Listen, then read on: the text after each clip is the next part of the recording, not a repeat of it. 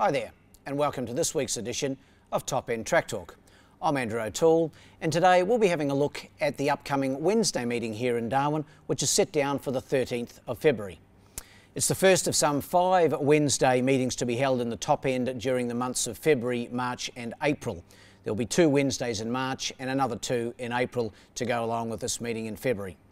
With Alice Springs ramping up the number of Saturday meetings as the Red Centre Carnival gets ever closer, the Darwin Turf Club is trying the Wednesday fixtures, which are replacing the Friday meetings held last year during this period. Some 36 horses have been entered for this Wednesday's meeting, with a couple of each way betting affairs and some tricky contests to sort out.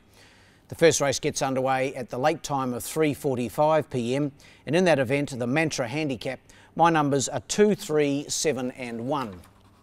Going here with number two, Desiree on top from the all-conquering Gary Clark stable and Kim Gladwin in the saddle.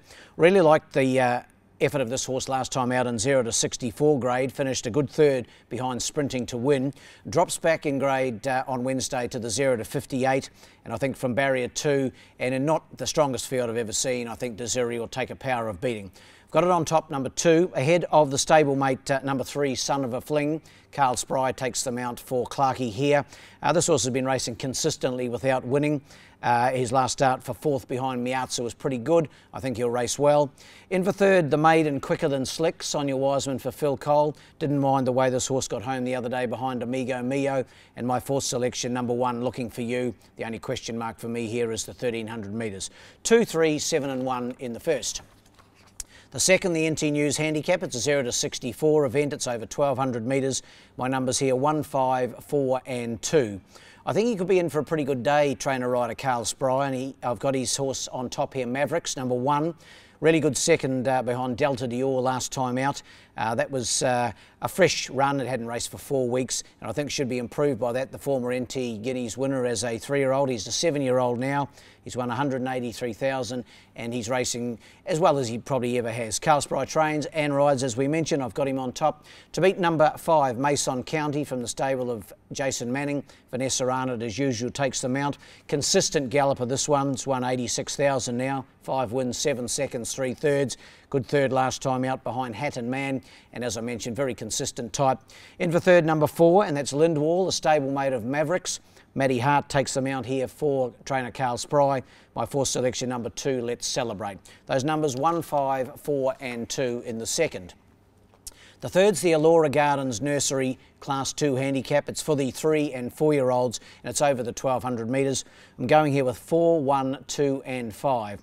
Number 4 on top for me, the resuming Our Great Northern. Hasn't raced since uh, mid November, but this three year old's got uh, good ability. Jared Todd takes them out for Phil Cole.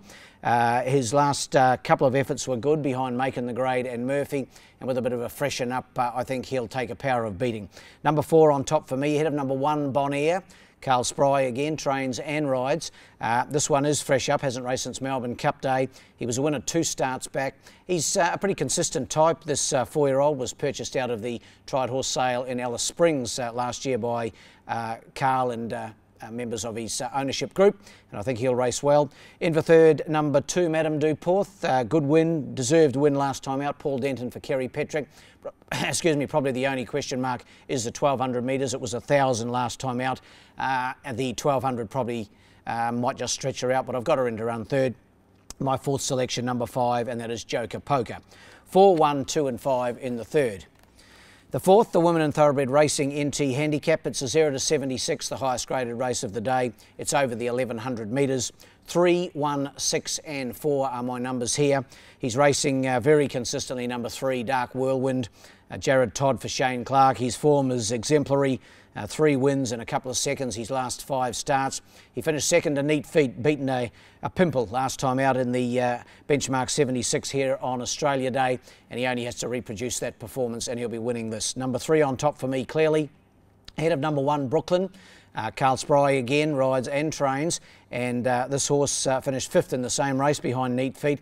But uh, he was fresh up on that occasion. I think he'll derive good improvement from that run, and he's probably uh, the horse that Dark Whirlwind has to beat. In for third, number six, Sprinting to Win, a uh, good winner. First up on the track for Sean Rains last time out. Barry Huppert's aboard again. That was on the 2nd of February.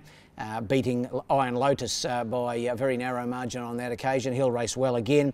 And my fourth selection, Needy Rocket, David Bates back in the training ranks after a small uh, holiday. Uh, my numbers 3, 1, 6 and 4. The last on uh, Wednesday is the Hot 100 handicap. It's over 1600 metres. Good field here too for the 0 to 64 event. And my numbers here 5, 4, 1 and 6. I'm going here with number 5, Rocherville, to complete a pretty good day for Carl Spry, I think. Uh, Carl takes them out and trains Rocherville. He's looking for a uh, hat trick of wins. He's won his last uh, two, one on Melbourne Cup Day and one on the 2nd of February. Uh, last start was 1300 metres. The step up to the mile won't worry him. He won at 1600 metres the previous outing, and uh, I like his chances here from the one gate. Number five on top for me, Rocherville. Ahead of the obvious danger, number four, More Alpha.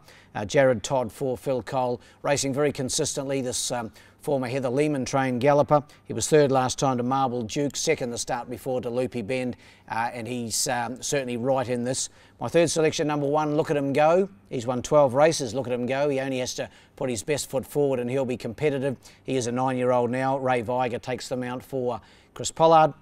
And then for fourth, number six, and that is Taciturn. Never goes a bad race for Gary Clark, Kim Gladwin aboard. Those numbers five, four, one, and six in the last. Uh, my best bet in Darwin uh, this Wednesday, race four, number three, Dark Whirlwind. Race four, number three, Dark Whirlwind. He's certainly uh, racing as well as any horse in the top end at the present time. While my best roughie comes up in the first, I'm going here with number six, Denoxy, having its second start in Darwin after uh, uh, doing most of its uh, earlier racing in Alice Springs. I didn't mind its first up run, and uh, we've seen horses improve pretty quick off their first up run in the top end. That wraps up this edition of Top End Track Talk, but we'll be back for our next meeting here in the top end, and that is Saturday, the 23rd of February, so Saturday week, so another weekend off for uh, all the good people uh, here at the Turf Club. In the meantime, good luck and good punting.